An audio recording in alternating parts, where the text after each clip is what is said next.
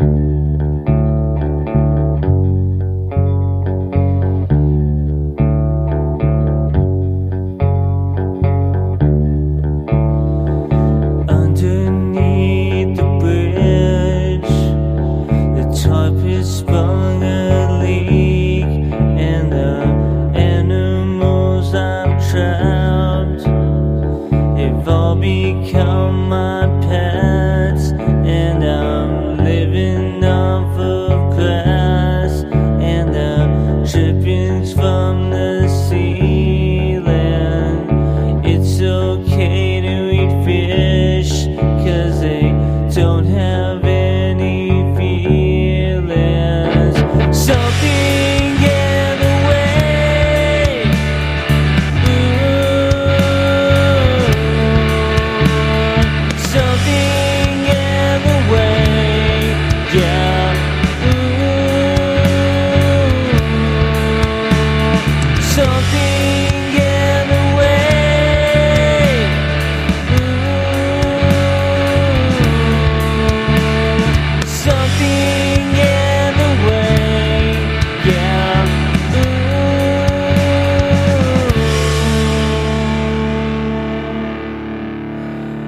underneath the bridge. The